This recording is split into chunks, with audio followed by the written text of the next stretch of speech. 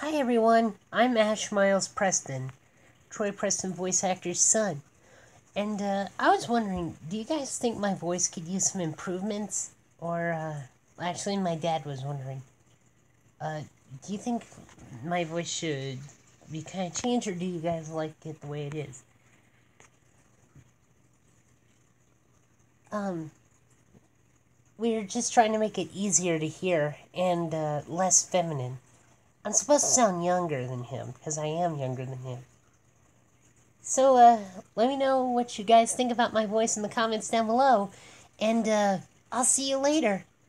Bye!